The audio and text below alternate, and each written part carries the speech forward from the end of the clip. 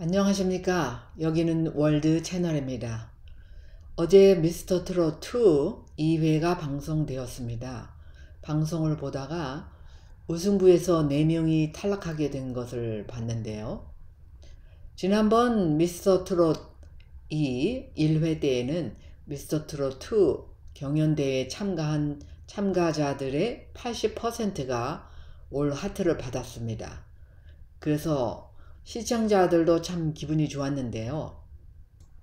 그런데 하트를 남발한다는 지적을 받았는지는 몰라도 미스터 트롯 2 2회 때에는 하트가 현격히 줄어들기 시작했습니다.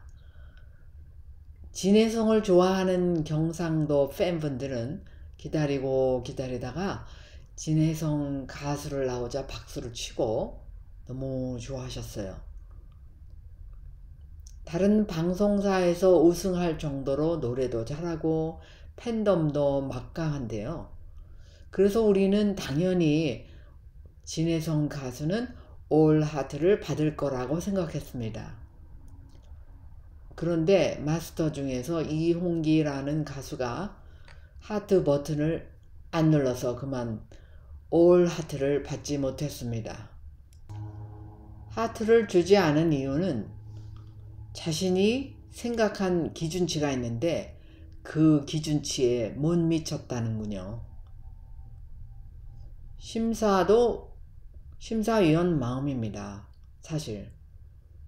한마디로 엿장수 마음대로죠. 심사위원으로 앉아있는 이홍기 씨가 그렇다는데 뭐 어쩌겠습니까? 하지만 타 방송국에서 우승한 게 죄입니까? 타 방송국에서 우승할 정도로 실력이 있다는 겁니다.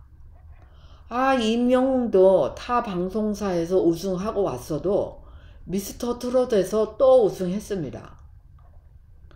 왜 미스터 트롯 1은 되고 미스터 트롯 2에서는 다른 잣대를 들이대는 건지 모르겠어요.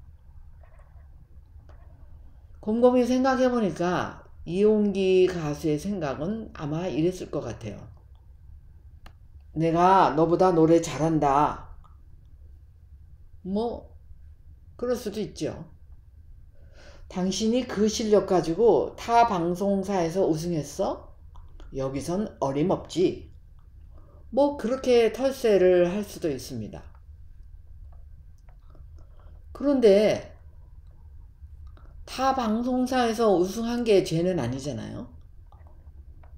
1회 때에는 트롯 새내기들한테 격려해주고 옳지 잘했다 잘했어 이렇게 입에 침이 마르도록 칭찬을 해주고 실력 있고 경험이 많은 우승자들한테는 다른 잣대를 들이대서 너 노래가 뒤집어졌어 그거 알지? 우리가 들어볼 때는 뒤집어진 거 모르겠던데요. 노래를 잘만 하더만요.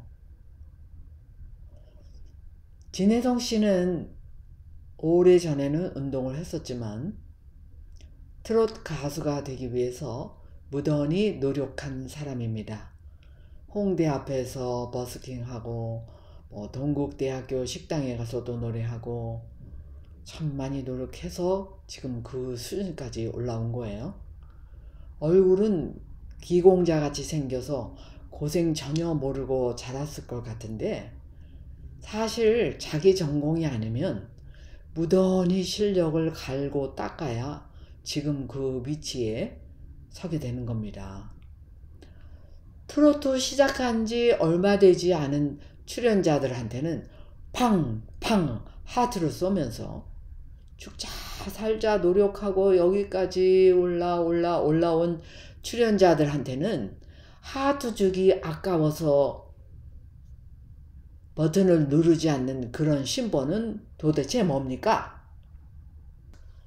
타 방송사에서 우승하고 미스터 트롯 2에서도 잘 되려고 하니까 배가 아파요?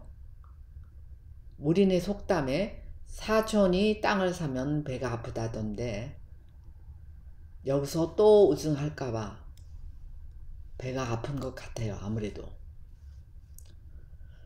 진혜성 씨, 이런저런 얘기 듣지 말고 실력으로 보여주세요. 제 생각에 진혜성 씨는 다음에 추가 합격자로 합격될 겁니다. 왜냐고요? 만약에 TV조선 측에서 진혜성 씨를 떨어뜨리면 진혜성 가수 팬덤 몇만 명이 마음을 싹 바꿔서 미스터 트로트 안 볼 건데요. 그렇게 할 리가 있겠습니까? 없습니다. 시청률이 얼마나 중요한데요. 방송사에서. 그럼 결론은 뭐냐? 경고성 멘트입니다. 진혜성, 타 방송사에서 우승했다고 여기서 까불지 마. 우리가 깜짝 놀랄 정도로 잘해보란 말이야.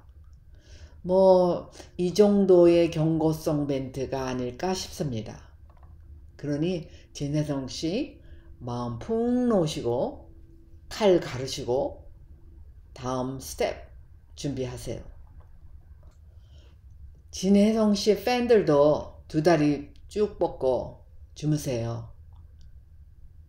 만약에 진해성 씨가 떨어진다. 그럴 리가 없겠지만은 다음 본선에 못 나온다.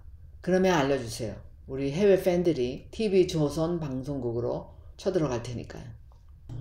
해외 팬들 여러분, 오늘도 좋은 하루 되시고 건강하시고 행복하시기 바랍니다. 여러분들의 구독과 좋아요 눌러주세요. 감사합니다.